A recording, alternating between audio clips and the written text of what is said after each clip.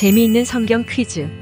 다음 빈칸에 들어갈 말은 하나님이 내게 은혜를 베푸셨고 나의 소유도 조카오니 청컨대 내가 형님께 드리는 무엇을 받으소서 하고 그에게 강권함에 받으니라.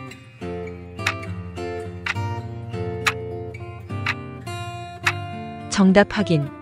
하나님이 내게 은혜를 베푸셨고 나의 소유도 조카오니 청컨대 내가 형님께 드리는 예물을 받으소서 하고 그에게 강권함에 받으니라. 창세기 33장 11절 말씀.